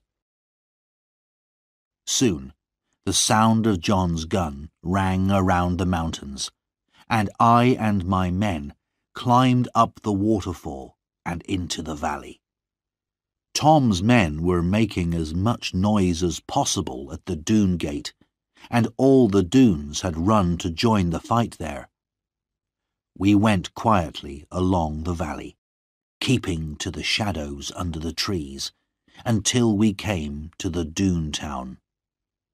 Then we got to work with our fire sticks, and before long every Doone house was on fire. We took good care, however, to burn no women or children, and we made sure that they were all out of the houses first. When they saw the flames and smoke rising from their houses, the Doone men came running back from the gate. By the time they reached us, the whole valley was burning. Houses, trees, everything, right up to the sides of the mountains. As the men came towards us, we saw that there were only twelve of them. In the bright firelight, they could not see us, but we had them right in front of our guns. There were so few of them that I thought we could take them as prisoners. But my men did not wait for a word from me. They saw the chance of revenge on the men who had burnt their homes and stolen their women for so many years. They fired, and five Doones fell dead. The robbers fired back wildly, but they could not see us clearly in the shadows. Soon all the guns were empty, and the battle became hand-to-hand -hand fighting, with knives and sticks. I stood to one side. The only Doone I wanted to meet was Carver. But as I started to look for him, I saw something white in the grass, moving close to the ground. I ran to see what it was, and found the counsellor. I recognized him from Lorna's descriptions, and here he was, on his hands and knees, trying to escape from the fighting. The white thing I had seen was his long, white hair. When he saw me, he got to his feet. He knew at once who I was. John Ridd, he said, won't you be kind to an old man? Let me get away from this violence, John. I will let you go free, sir, I said but on one condition. Tell me honestly which Doone killed my father. I will tell you honestly, he said, though it hurts me to say it. It was my son, Carver. I thought it was him, I said, but you were not there, so I don't blame you. I've always been against violence, the counsellor said, shaking his head sadly. And now, John, let me go. He was an evil, lying old man, but I let him go. I don't know what happened to him, but he was never seen again on Exmoor. Then I went to look for Carver, but did not find him. Afterwards, I heard that he had led the Doones who had gone to the gold caves. Our trap was successful, and all the Doones had been killed. All except Carver, who had ridden his horse through the attackers and escaped. The Doones were totally defeated, though. When the sun came up above their valley the next day, all their houses were nothing but blackened wood we had lost sixteen men in the fighting, but out of nearly forty Doone men, only Carver and the counsellor were left alive. But the thought that Carver, that cruel and violent man, was still living somewhere on the moors, did not give me much peace.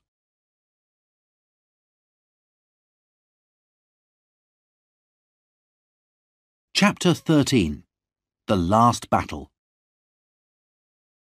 The next thing that happened was the return of Lorna, my Lorna, my own darling. She stepped out of her coach and ran into the house, as happy as a bird to get home again. All the house was full of brightness and sunshine as she ran here and there, laughing and talking. Oh, how she loved this old chair, and she must see the kitchen fire, and where was her old friend the cat? As for me, I threw my best hat over the hayricks and shouted for happiness. Lorna was now free to make her own decisions, she told us. Earl Brandir had died. She had grown to love this fine old gentleman and was very sad at his death. But now she could do what she wanted. Even marry that good servant of the king, John Ridd. At last, the waiting and the worrying was over, and happiness was ours. But in her softest moments, when she was alone with me, Lorna could not quite hide the fear that still lay deep in her heart. I felt it too. A fear that something evil, something terrible could still happen. There was great excitement all over Exmoor when people heard of our wedding. Everyone had heard of the defeat of the Doones and the strength of John Ridd and the beauty of Lorna. People came from more than thirty miles around. Mother, Annie, and Lizzie arranged everything with the help of Uncle Ben's granddaughter, Ruth, who had also come for the wedding. When the day came, and Lorna stepped up to my side in Oare Church and took my hand, I was afraid to look at her. She was so beautiful, so fresh and lovely in her simple white dress. But when we had each said, I will, and my ring was on her finger, we turned to each other. Her laughing eyes were serious now, and full of so much love that my heart nearly stopped beating. Darling eyes, the loveliest, the most loving eyes. Then the sound of a shot rang through the church, and those eyes were clouded with death. Lorna fell at my feet, and her bright red blood ran over the wooden floor. I lifted her up, whispering soft words of love, but as she leant her head on my chest, her eyes closed and she breathed her last goodbye to life. Then I laid my wife in my mother's arms and went out for my revenge. Of course, I knew who had done it. There was only one man in the world who could do a thing like this. I jumped on my horse and rode away fast. I don't remember who showed me the way. I only know that I took it, and the men fell back before me. Soon the shouts of some men told me that I was getting close, and there, ahead of me, rode a man on a great black horse, and I knew that the man was Carver Doone. His life or mine, I said to myself. Whatever God decides. But the two of us cannot live in this world one more hour together. I had no weapons, and I knew he had a gun, but I also knew, as surely as night follows day, that I would kill this man. He rode up onto the moors, and I followed, his horse was fast, but he did not know this part of Exmoor. He rode straight into a little valley from which I knew there was no escape, because at the end of it there was only a black, bottomless bog. As I rode after him, I reached up to a tree that was growing in the rocks above me, and broke off a great branch. Then Carver turned a corner and saw what he was riding towards. He pulled back from the bog in fear, and, turning his horse, he fired and rode straight at me. The bullet hit me somewhere, but I took no notice. I put my horse across his path, lifted the branch above my head, and brought it down hard on his horse's head. Both horse and man crashed to the ground. Before Carver could move, I jumped down. He got up with a black look on his face and started to speak. For an answer, I hit him on the side of the face. I would not dirty my mouth by speaking to this man now. Then he ran at me and put his hands around my neck. I had never met strength like this, and felt my neck would break. But I took hold of his arm and almost pulled it from his shoulder. Then I took him by the neck, as he had done to me. His eyes burned with anger, and he threw himself against me. But God gave me great strength that day. In two minutes he was lying on the ground, half dead. I will not hurt you any more, I said when I could breathe again. Carver Doone, you are beaten. Go on your way. Thank God you are alive, and never come near me again. But it was too late. The black bog had him by the feet. As he lay like a mad dog in front of me, the ground itself began to pull him in. In our murderous battle, we had not noticed where we were going. I only just managed to jump with my last strength from the terrible blackness. But I could do nothing for Carver. While his mad eyes stared and his arms waved wildly above his head, the black bog pulled him down, and he disappeared from sight. I don't know how I got home. I had lost a lot of blood.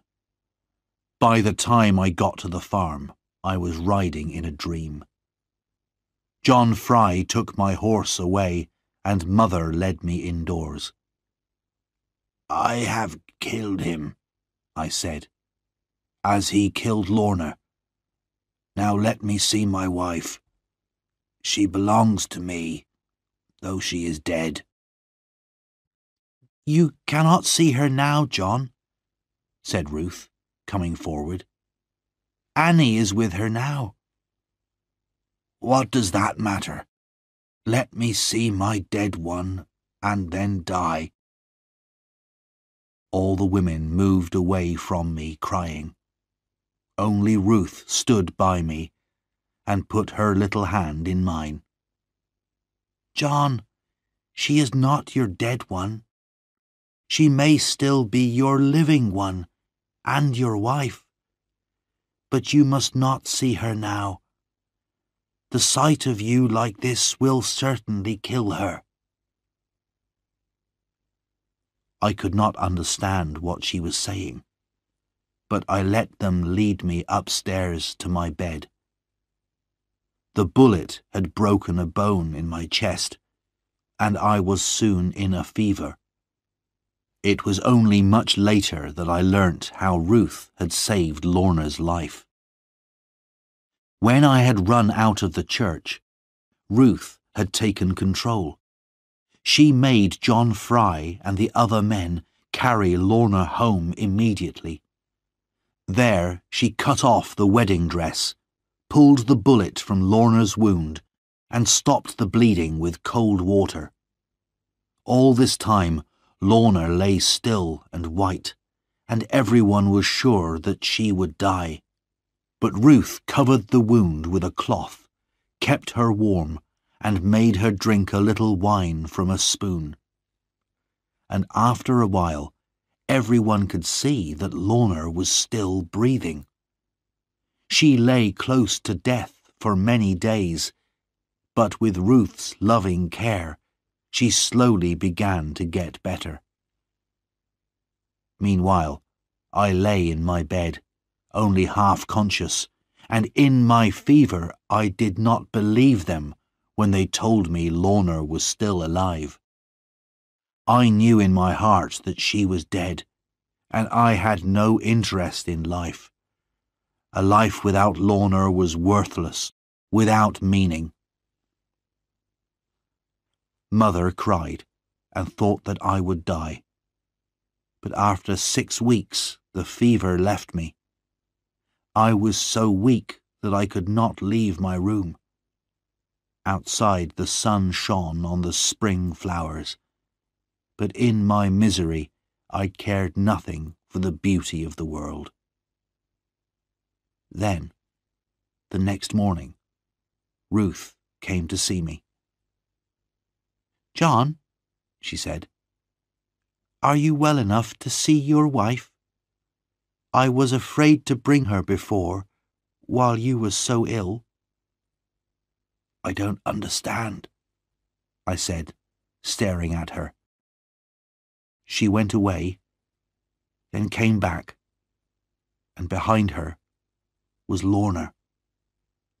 Ruth closed the door and ran away, and Lorna stood before me. But she did not stand for long. She ran to me and managed to get into my arms, although they were too weak to hold her.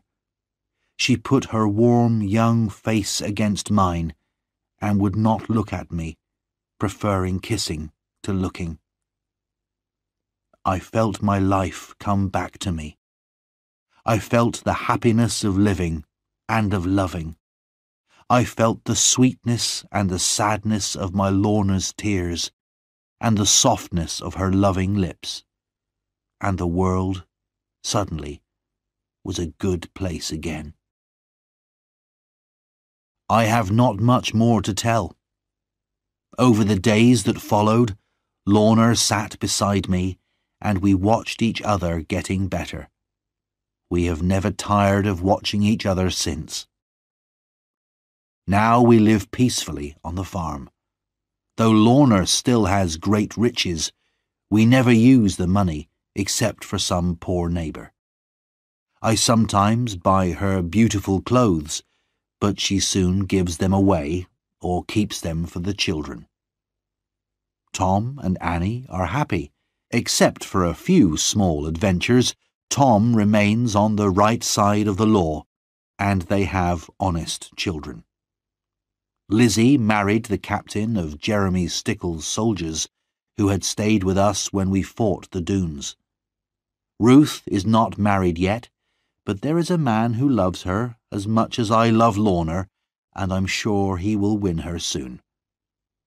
But of Lorna herself, my darling wife, I won't say much. A man should not talk too much about the best thing in his life. Year by year, her beauty and her loving kindness grow greater, and after all this time, and all that has happened to us, she is still my Lorna Doone.